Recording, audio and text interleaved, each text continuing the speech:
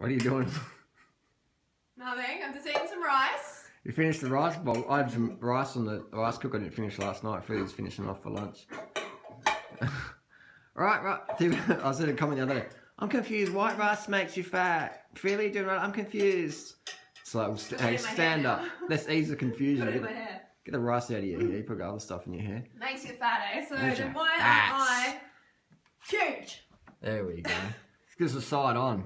There we go. Rice, rice, rice is fattening. If white rice made you fat, then I would be obese. And I'd be obese too. That's I'd be. right. I'd have obesity legs. People say, "What's what, what's what's wrong there? It's a bone." This is leanness.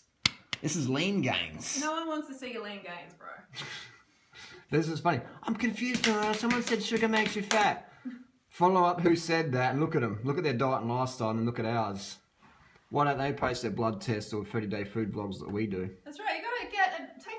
People who are getting the results you desire. We always say that because it's true. It is just true, but people seem to overlook that. Yeah. I mean, eight years, like, Coming out, but you know.